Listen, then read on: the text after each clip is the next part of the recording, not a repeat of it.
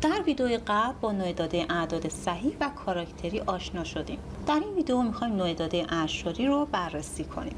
برای ذخیره اعداد اعشاری از نوع داده فلوت و دابل استفاده میشه. نوع داده فلوت برای ذخیره سازی اعداد اعشاری ممیز شناور با دقت هفت رقم مورد استفاده قرار می‌گیره.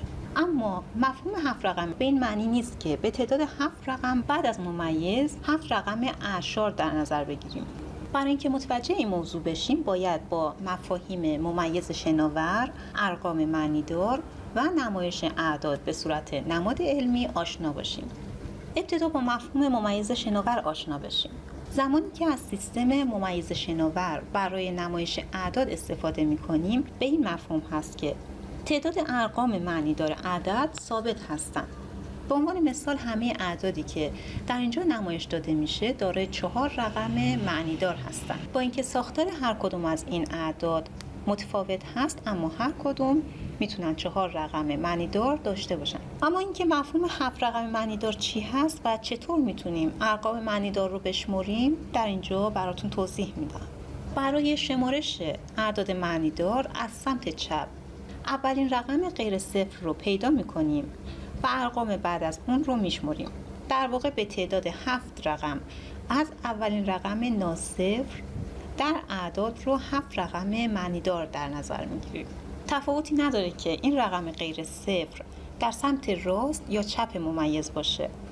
از هر قسمتی که اولین رقم غیر صفر رو دیدیم می‌تونیم شروع به شمارش ارقام معنیدار کنیم. نکته که می‌تونم بگم این هست که در حقیقت صفرهای سمت چپ رقم غیر صفر نادیده گرفته میشه. اما صفرهای سمت راست این رقم جزء ارقام معنیدار به حساب میاد. بعد از اینکه با مفهوم ممیز شناور و ارقام معنیدار آشنا شدیم بهتره بدونیم که بهترین روش برای نمایش اعداد ممیز شناور نماد علمی هست. در روش نماد علمی عدد به دو بخش تقسیم میشه.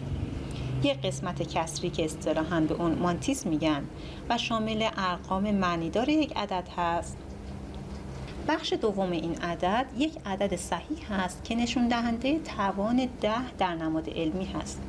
به عنوان مثال در این عدد این قسمت از عدد بخش مانتیس و توان عدد ده 34 هست که به صورت نماد علمی نوشته شده.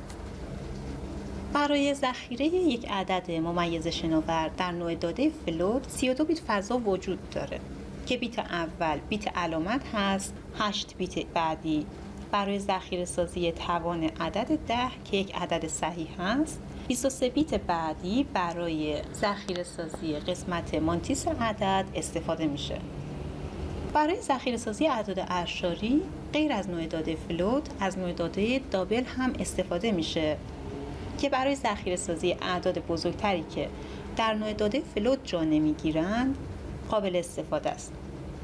نوع داده دابل این قابلیت رو داره که اعداد اعشاری رو تا 15 رقم معنی دار در خودش ذخیره کنه.